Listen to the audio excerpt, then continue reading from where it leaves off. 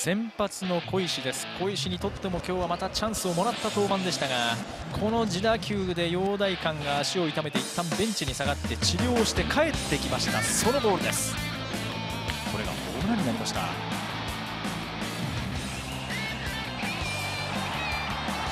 あ、本当にバッテリーからするとこういう形で打たれてはいけない場面でしたかね。そうですね、えー、もう何球も続けて、はい、ね、相手の嫌がる球を投げたいところではありましたよね。えーでその後のピンチ満塁まで行ったんですが赤田を三振。さらには飯山。サードゴロに抑えて失点は2で止めました。2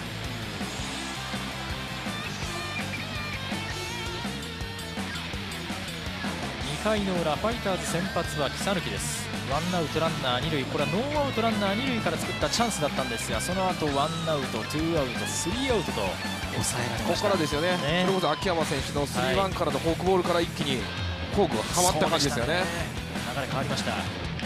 さあ小石なんですがその後3回4回といいピッチングを見せようかというところだったんですけどもね。乗っていこうとしたところだったんですが4回です。先頭バッターの小屋のこの一発です。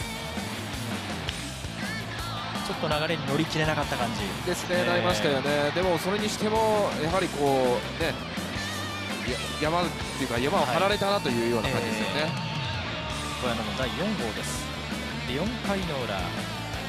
この回は中村をツーシームで見逃しの三振。さらにランナーメヒアが出たんですがここは初球でスチールを試みたんですがタッチアウト。盗塁失敗でこの回を終えました。6回です。ピッチャーは2番手の岩尾に変わっています。先頭バッターストライク入りませんでした。やはりねそういうところからやっぱりこの得点にはつながりますよね、えー、どうしてもね。で小谷野がつないで一塁三塁です。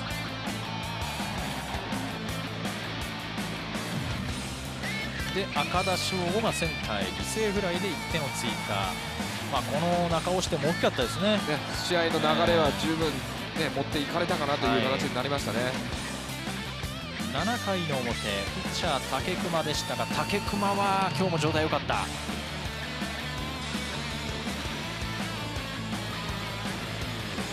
自慢のチェンジアップも冴えています。8回の裏ランナー置いたところで代打の森です。しかしここは高めのボールを打ち上げました。その後秋はこれ面白いアイディア。小屋野の守備、まあ、随所でこういうね流れをこう相手にやらないプレーも出てますね、やはりね。その後栗山フォアボール、ここでピッチャー、木更木は交代を告げられました、しかしここまでよく投げました、木更木、7回3分の2を投げてピッチャー交代です。でランナー2人置いてピッチャー宮西代打はルーキーの山川穂高先日プロ初ヒットがホームランだったんですがここは抜けたスライダー空振りの三振でした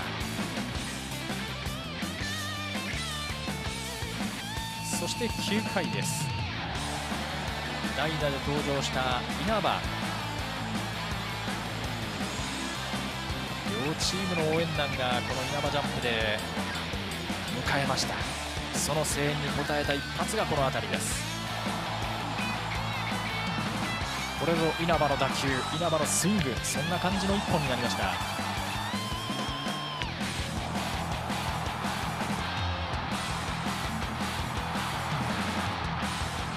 ロホームランで1点を追加した稲葉の当たりです。